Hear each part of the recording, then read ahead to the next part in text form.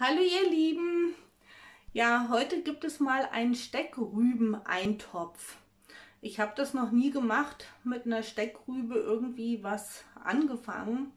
Ja, diese Steckrübe stammt mal wieder aus der Magic Bag. Magic Bag ist ja nun mal eine Überraschungsbox oder Tüte. Und ja, jetzt sitze ich hier auf dieser Steckrübe und muss irgendetwas damit zaubern. Deswegen gibt es heute einen Eintopf. So sieht sie aus. Die kam schon halbiert, lag die da in der Kiste, aber das ist ja egal. Die andere Hälfte wird auch noch genommen. Ja, ich bin schon gespannt, wie das so geschmacklich wird. Das berichte ich euch dann hinterher, wenn es fertig ist. Ja, und ihr wisst ja, meine heißgeliebte Stangsellerie, ach, die werde ich jetzt einfach auch mit da rein verarbeiten, dass die einfach auch wegkommt. Und ja, ich habe ja damit schon mal ein Experiment gemacht. Das seht ihr auch auf meinem Kanal. Äh, da guckt auch mal vorbei. Ich kann es euch auch gerne mal hier oben in der Infobox mal verlinken. Und ähm, ist ganz witzig. Also auf jeden Fall kommt es in die Suppe und dann haben wir das erstmal wieder verwertet bis die nächste Magic Bag kommt, wenn denn überhaupt. Weil ich habe natürlich auch hier meine Essenssachen oder mein Gemüse, das muss ja auch erstmal verwendet werden. So, ja, dann legen wir jetzt zu dem Eintopf los. Ja, als erstes gebe ich hier eine halbierte Zwiebel rein. Und dann werde ich das jetzt erstmal zerkleinern. Bei 3 Sekunden Stufe 5.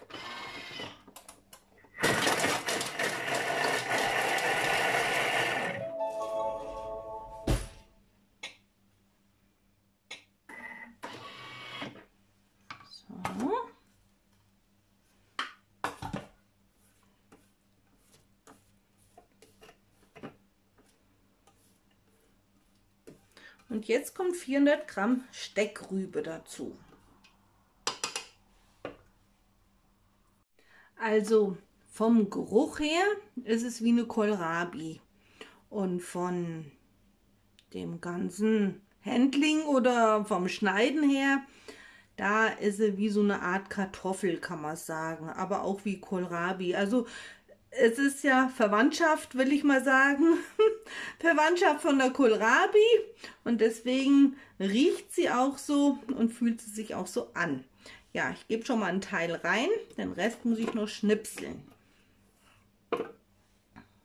So, die Steckrüben sind drin, jetzt kommen die Karotten, da kommen 180 Gramm und zwar in so Scheiben. Ups, nun kommen noch 300 Gramm Kartoffeln dazu. Nun gebe ich hier noch Stangensellerie rein. Die habe ich jetzt hier so geschnitten und ähm, nochmal schön gewaschen eben. Und die schneide ich jetzt noch so klein. Nun gebe ich noch zwei gehäufte Teelöffel von der selbstgemachten Gewürzpasta hinzu.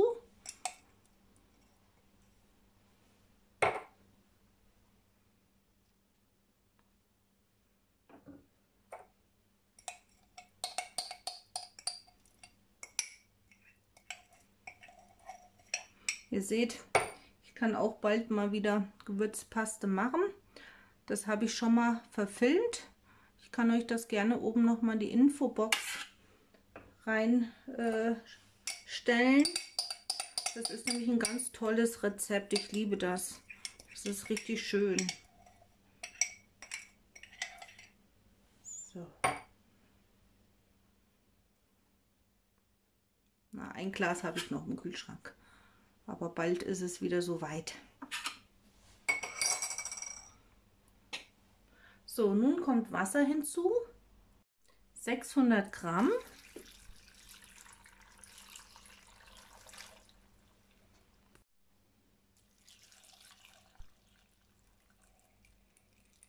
Dann ein Lorbeerblatt. Dann Thymian. Ein Teelöffel Thymian.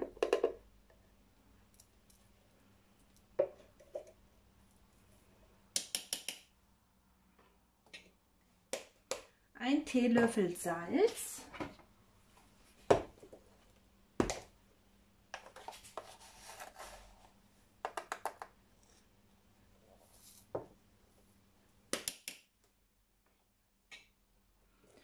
einen halben Teelöffel Pfeffer.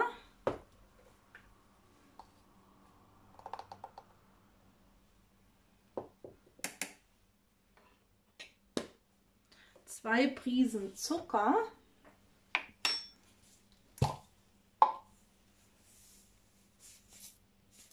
ups, bisschen viel, aber wir werden es überleben. So, dann kommt der Deckel drauf. 25 Minuten 100 Grad Linkslauf Stufe 0,5.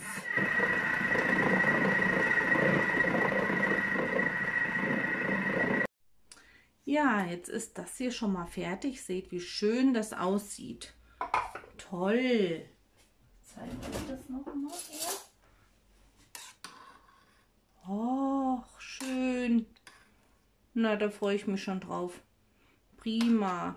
So, da kommen jetzt noch Wiener Würstchen dazu.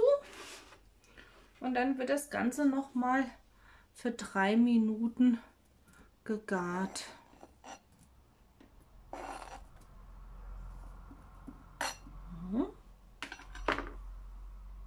So, die Würstchen sind jetzt drin. Deckel drauf, 3 Minuten, 100 Grad, Linkslauf, Stufe 0,5. So ihr Lieben, das ist jetzt hier fertig. Also sieht richtig gut aus. Ja, und jetzt werde ich es mal probieren. So ihr Lieben, schaut, ich habe immer noch so viel übrig. Ich glaube, in den nächsten Tagen wird nochmal Steckrübe geben, weil ich muss das ja irgendwie verwerten. Aber vielleicht finde ich noch ein anderes Rezept als wie schon wieder eine Suppe. Mal gucken, irgendwas habe ich noch gesehen, dass man das auch noch irgendwie ja, an den Backofen stecken kann oder so. Ja, da muss ich erst noch mal ein bisschen gucken. Also seid gespannt. Vielleicht kommt noch mal darüber ein Video. Ich muss aber erst mal gucken nach einem Rezept. Ja, jetzt werde ich erst einmal das hier probieren. Habe mir jetzt erstmal nur in eine kleine Schale gegeben zum Testen. Mal ohne Würstchen. So ist die Suppe.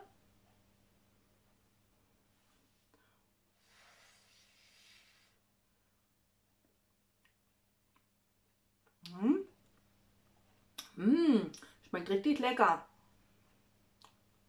Mmh. Wisst ihr was, kann ich mir auch gut vorstellen, dass man das mal einfriert und dann kann man sich immer ziehen. Kann man also schon gut vorkochen. Am Abend vorkochen, am nächsten Tag in die Mikrowelle oder eben auch im Gefrierschrank und andermal gegessen, wie man halt will. Mmh, richtig lecker.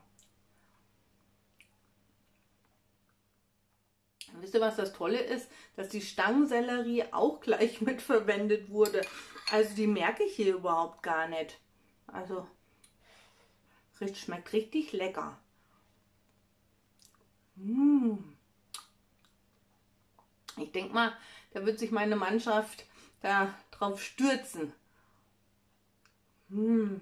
Also das Rezept kann ich echt euch empfehlen richtig lecker.